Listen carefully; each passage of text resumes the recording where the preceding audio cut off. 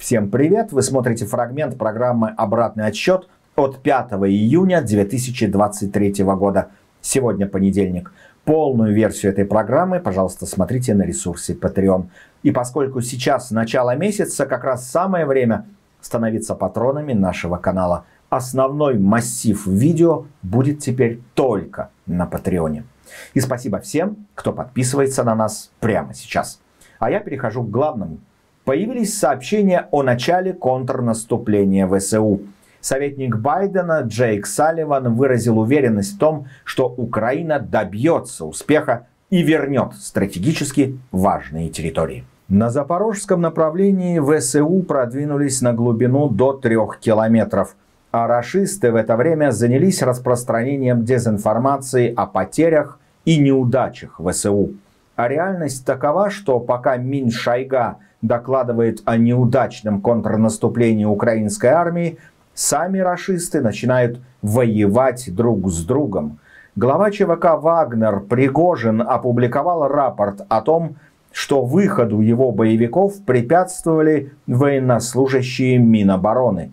И даже предъявил видео, на котором подполковник вооруженных сил РФ Роман Веневитин, взятый в плен вагнеровцами, подтверждает, что стрелял по упырькам из чувства личной неприязни. То есть рашистская войнушка уже приобретает некий хаотический характер.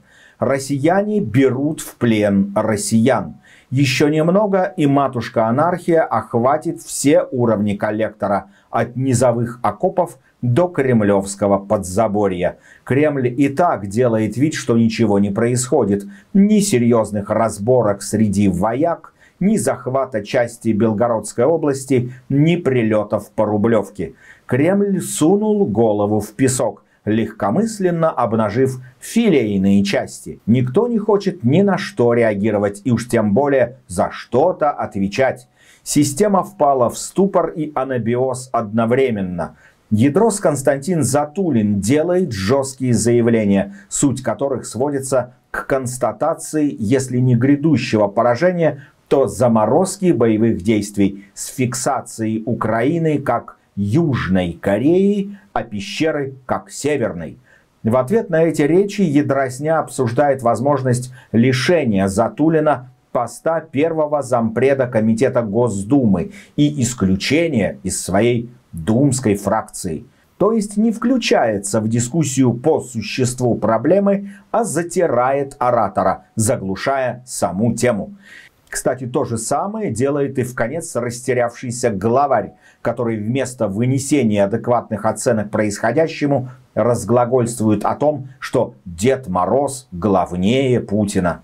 Все это похоже на терминальную стадию онкозаболевания, когда больной впадает в неадекват и начинает смотреть спасительные мультфильмы, пока организм готовится к отходу в мир иной. Полностью этот сюжет смотрите на ресурсе Patreon. Становитесь нашими патронами прямо сейчас и смотрите далее в этой программе. Кадыров заявил, что может послать в Белгородскую область своих боевиков для борьбы с диверсантами. Туда же своих наемников может отправить и Пригожин. В России наступает время главарей частных армий. Кто успел обзавестись своими бандами, тот и обеспечил себе шанс на выживание в будущем. 4 июня прогрессивные навальнисты во всем мире отмечали день рождения своего вождя.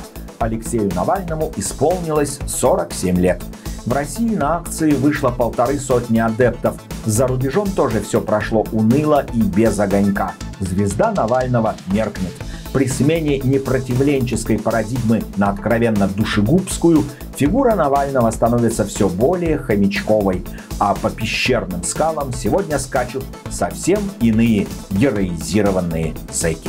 Премьер Бельгии поручил спецслужбам прояснить вопрос использования переданного Украине вооружения в атаке на территории Белгородской области, отметив, что переданное Украине оружие может использоваться исключительно в целях обороны.